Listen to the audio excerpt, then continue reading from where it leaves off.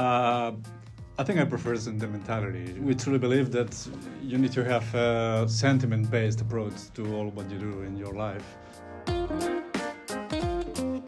Artifice. Well, architecture by default, it's an artifice.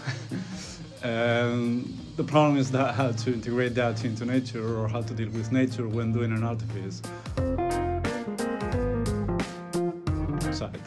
Main challenges for us as architects is to discover or to rediscover the uniqueness and the singularity of every place and proposing something that makes that place better.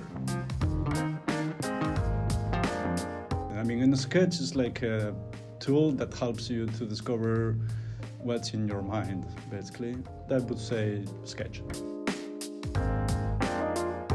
I prefer plans. I usually start with plans and then jump to into the sections. So I, I would say, being honest, plans. uh, we are architects thinking about the fundamentals of the discipline somehow.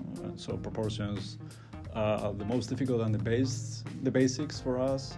Usually we start with the proportions of every space and then we introduce light.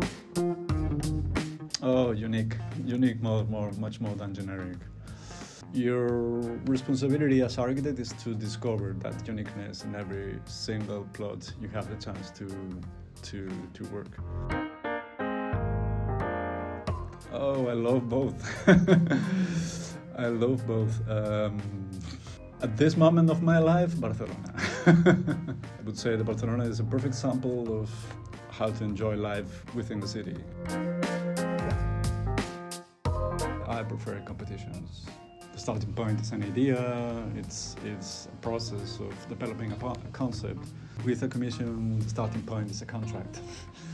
and um, I prefer having a concept as a starting point and a contract.